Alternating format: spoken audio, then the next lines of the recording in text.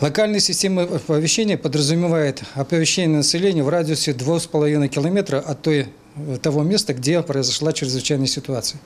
Жилой зоны города у нас э, потенциально опасных объектов э, в основном нет. Это особенно Зашехснинский район, Заречье.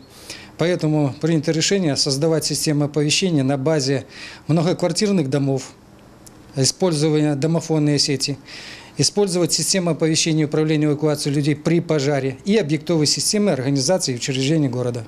Экскурсия понравилась, узнали много нового, э, как все происходит. Э, Ветеран службы э, рассказал про историю, про различные институты, в которые можно поступать.